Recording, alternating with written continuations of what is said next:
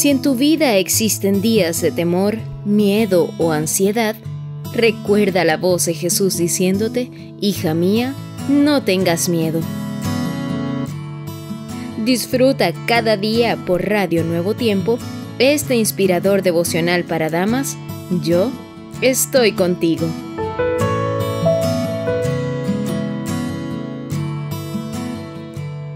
Paz en las alturas. El señorío y el temor están con él.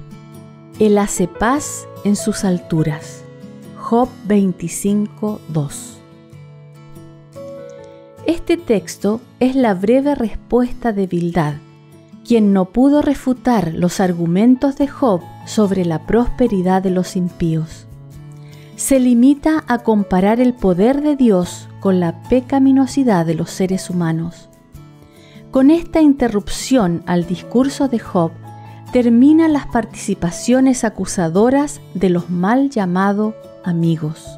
Job 32.1 en el celo por defender la creencia de que los justos son recompensados y los malvados son castigados, no comprendieron a Dios ni tuvieron compasión con su afligido amigo. Cuánta empatía se necesita con los que sufren. No hace falta ser cruel para ser sincero.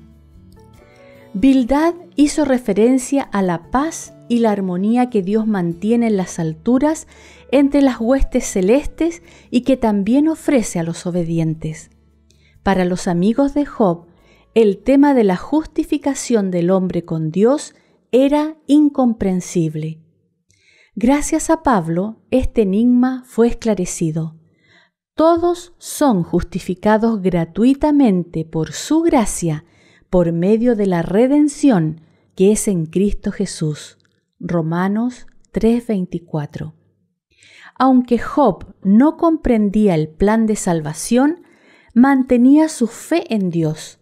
Su respuesta final a sus amigos fue, Él conoce mi camino, me probará y saldré como oro. Job 23:10. El cristiano que ama a su Padre Celestial puede no discernir por providencias externas o señales visibles algún favor celestial. A menudo está sumamente afligido, angustiado, perplejo. Las apariencias parecen estar en su contra. Job fue despojado de sus tesoros terrenales, privado de sus hijos y convertido en un espectáculo de repugnancia para sus amigos, pero en la hora de Dios, Él mostró que no había abandonado a su siervo. Si eres llamado a entrar en el horno de fuego ardiente por amor a Jesús, Él estará a tu lado de la misma manera como estuvo con los tres fieles en Babilonia. Los que aman a su Redentor se regocijan por toda oportunidad de compartir con Él la humillación y el oprobio el amor que sienten hacia su Señor dulcifica el sufrimiento por su causa.